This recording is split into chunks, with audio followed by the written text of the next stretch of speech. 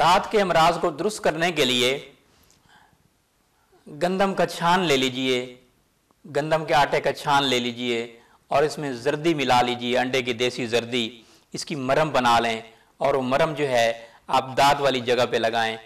دانت والی جگہ بھی ٹھیک ہوگی اور اگر خارج کا مسئلہ ہے تو خارج بھی انشاءاللہ ٹھیک ہوگی۔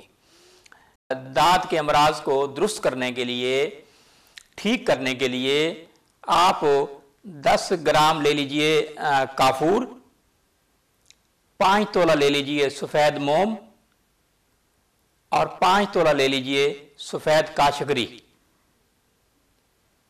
اور ایک پاؤ لے لیجیے سرسوں کا تیل۔ یہ چار چیزیں ہو گئیں۔ سرسوں کا تیل کو آپ گرم کر لیجیے، اور اس میں جو ہے، آپ جب ٹھنڈا ہو جائے تیل، تو پھر آپ سفید کاشگری ملا لیں۔ اور اس میں کاہور بھی آپ ملا لیجیے۔ لیکن جب آپ تیل گرم کرنے کرنے لگیں تو آپ نے سفید موم اس میں شامل کر لینا ہے۔ یہ آپ کی مرم تیار ہو گئی۔ یہ آپ دانت کے لیے استعمال کر سکتے ہیں۔ دانت کے لیے خارج کے لیے چمبل کے لیے بھی مفید رہے گا یہ مرم جو ہے۔